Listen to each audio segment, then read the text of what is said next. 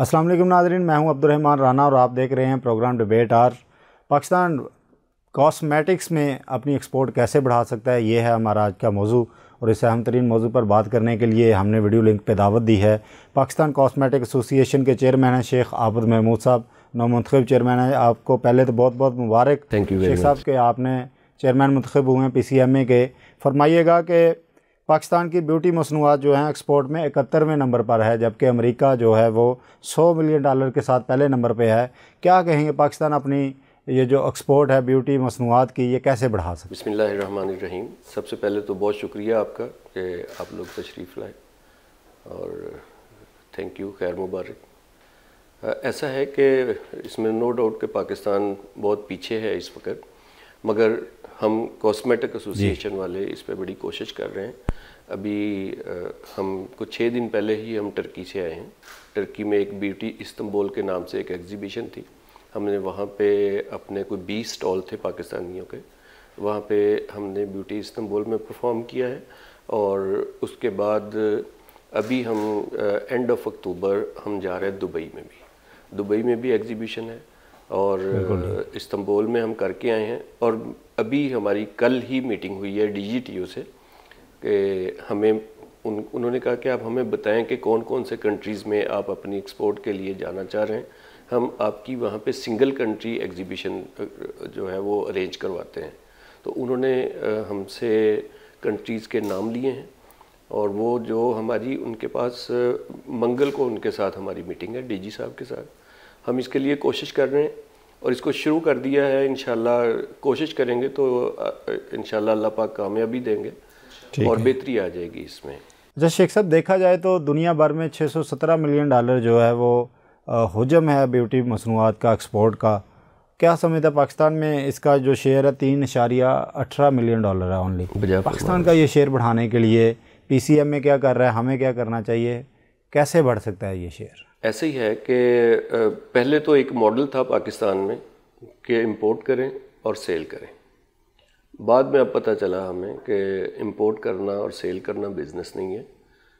इससे सरमाया तो सारा डॉलर्स की शेप पे बाहर चला जाता है। तो अभी पिछले कुछ सालों से इस पर गवर्नमेंट लेवल पे भी ज़ोर दिया जाने लगा कि हम अपनी इंडस्ट्री को ग्रो करें और यहाँ पे कारखाने लगाएँ, यहाँ पे फैक्ट्रीज़ लगाएँ।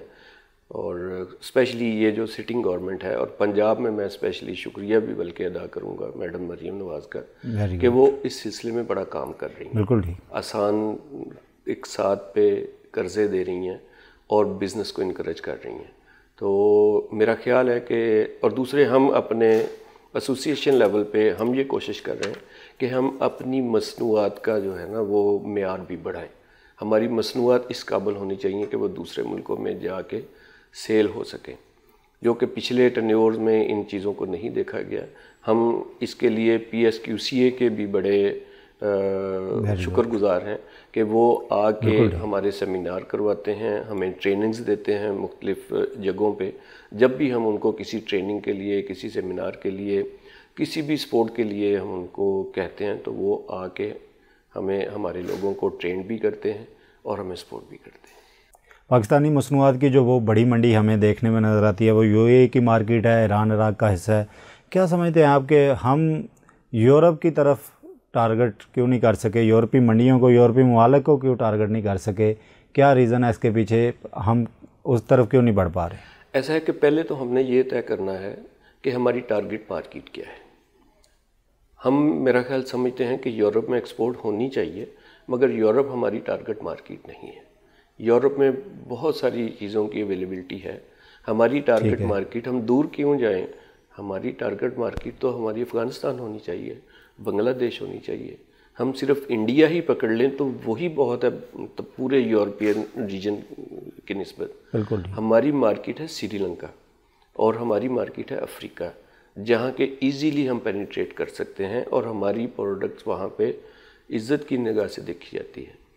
पहली हमारी कोशिश ये है कि जहाँ हमारी एक्सेप्टेबिलिटी है हम वहाँ पे ट्राई कर रहे हैं। और हमें वहाँ से कामयाबी भी मिल रही है। गवर्नमेंट ऑफ़ पाकिस्तान को क्या कहना चाहते हैं आप?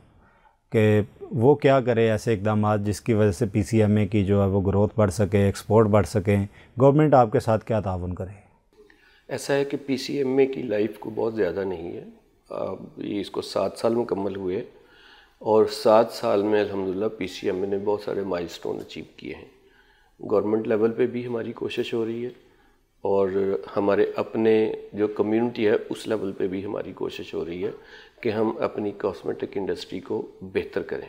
और गवर्नमेंट लेवल पे हम इसके लिए गवर्नमेंट से सपोर्ट चाहेंगे कि गवर्नमेंट जो रॉ मटेरियल्स पे, उसकी जो ड्यूटी है, उसको कम करे। और इस वक्त पूरे पाकिस्तान में बिज़नेस कम्युनिटी जो है वो इस वक्त परेशानी है। गवर्नमेंट को चाहिए कि हमें कुछ बिजली के बिलों में और कुछ रॉ मटेरियल्स की इंपोर्ट में और इस तरह की दूसरी चीज़ों में हमें ज़रूर सपोर्ट करे ताकि जो कॉस्मेटिक इंडस्ट्री वो ग्रो कर सके। जी शेख साहब, पाकिस्तान कॉस्मेटिक एक्ट 2023 पास हो चुका है। और अभी तक अथॉरिटी का क़्याम अमल में नहीं आ सका।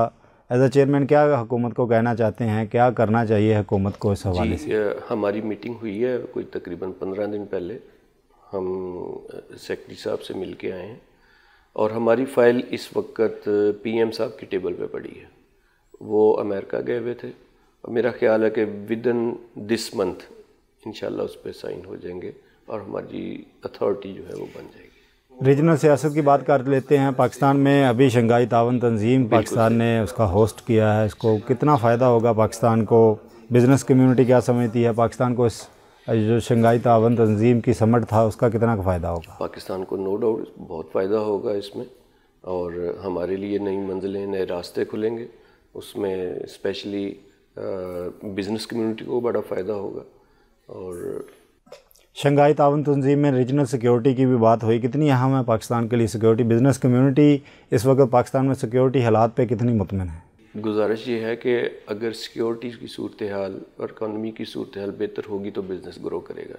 कॉस्मेटिक का नहीं हर किस्म का बिज़नेस ग्रो करेगा। और अभी जो इकानमी के इशारे हैं और सिक्योरिटी के इशारे हैं वो बेहतरी की तरफ़ जा रहे हैं। को बिजली के बिलों में थोड़ा रिलीफ मिला है पेट्रोल में रिलीफ मिला है डॉलर नीचे थोड़ा थोड़ा आ रहा है और एक सतह पर कायम है। अब मेरा ख्याल है कि यही गवर्नमेंट ठीक है। ये अच्छा परफॉर्म कर रही है और यही इंशाल्लाह अच्छा परफॉर्म करेगी और चीज़ें बेहतरी की तरफ़ चली जाएँगी। जी शेख साहब दुनिया भर में जो है वो ऑर्गेनिक जो मसनूआत है उनकी डिमांड बढ़ रही है। पाकिस्तान इस वक्त कहाँ खड़ा और क्या हमें लाहे अमल अख्तियार करना पड़ेगा दुनिया को कम्पीट करने में? अभी आने वाला दौर जो है वो ऑर्गेनिक का ही है। ऑर्गेनिक चीज़ें बड़ी तेज़ी से ग्रो कर रही हैं और ये और भी ग्रो करेंगी और हम भी इस पर सोच रहे हैं कि हम भी अपनी प्रोडक्ट में ऑर्गेनिक मसनूआत का इजाफा करें। ठीक है। अगर हम ऑर्गेनिक प्रोडक्ट्स अपनी तमाम प्रोडक्ट्स में डालेंगे तो हम भी साथ ग्रो करेंगे। ये फरमाइएगा कि दुनिया भर में आईटी से रिलेटेड बिज़नेस या ऑनलाइन जो बिज़नेस है वो बढ़ गया है। पाकिस्तान जो है वो कहाँ खड़ा है इस हवाले से? पाकिस्तान की मसनूआत ऑनलाइन कहाँ खड़ी हैं इस वक्त? लेकिन ये आईटी तो अब तमाम ममालक जो हैं, वो आईटी पे बड़ा फोकस किए हुए हैं और आईटी इंडस्ट्री ग्रो भी कर रही है और स्पेशली जो आपने ई सेल्स के हवाले से पूछा है ई सेल्स से मैं ये कह रहा हूँ कि जो नए इंटरप्रन्योर हैं ना, उनको बहुत ज़्यादा फ़ायदा हो रहा है। कि उनके बिज़नेस उनको ज़्यादा बहुत बड़े सेटअप लगाने की ज़रूरत नहीं है। छोटा सा सेटअप लगाएँ, अपनी प्रोडक्ट बनवाएँ फैक्ट्रियाँ लगाने की ज़रूरत नहीं। थर्ड पार्टी मैनुफैक्चरिंग करवाएँ और उसको प्रमोट करें और बेच दें। ये पिछले टनोर में मैं समझता हूँ कि पाकिस्तान में कुछ पच्चीस से तीस कंपनियाँ ऐसी नई परवान चढ़ी हैं कि जिनके आज बिज़नेस काफ़ी ग्रो जिनके ग्रो कर गए हैं। मैं उनकी बात कर रहा हूँ। दौड़ में तो बहुत सारे लोग शामिल हैं। शेख साहब कॉस्मेटिक चीज़ों में कॉपी या फेक चीज़ें बनाने का बड़ा रुझान देखा है मार्केट भरी पड़ी है इन चीज़ों से। पी एस क्यू ए के साथ आप क्या इस तरह का लाइजन बना रहे हैं एज अ चेयरमैन या कोई ये जो फेक या कॉपी चीज़ें आ रही हैं मार्केट में, इसको पकड़ने के लिए या इनको सजाएँ दिलाने के लिए क्या लाहे अमल आप लोग अख्तियार करने जा रहे हैं? असल में हमारा जो एक्ट पास हो गया है, पहले तो ये एफ़ आई ए के अंडर थी, जितनी भी जालसाजी हो रही थी। अब हमारा एक्ट बन गया है। अब ये काबिल दस्तंदाजी पुलिस जुर्म होगा।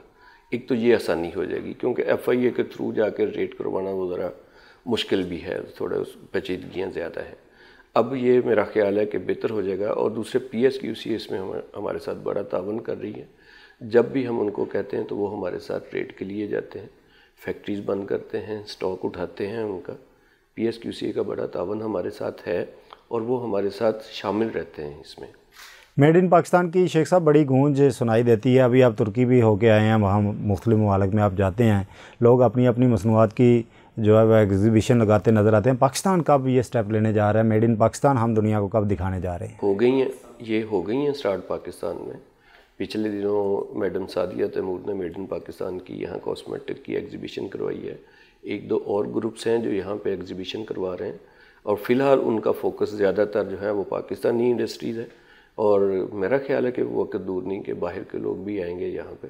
हमारा अभी तो फ़िलहाल ज़्यादातर पी सी एम ए का ख़ास तौर पे होता है कि पाकिस्तानी इंडस्ट्री ग्रो करे उसको ज़्यादा से ज़्यादा हम प्रमोट करें।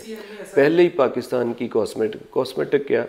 आप किसी भी इंडस्ट्री में चले जाएँ हर जगह पे मल्टीनेशनल्स छाए हुए हैं इम्पोर्टेड माल ही पड़ा है। अभी हम कोशिश कर रहे हैं कि मेड इन पाकिस्तान जो है वो चीज़ें, मगर सबसे पहले हमारे जो साथी हैं, ज़रूरत है कि वो पाकिस्तानी प्रोडक्ट्स का मैार भी अच्छा करें।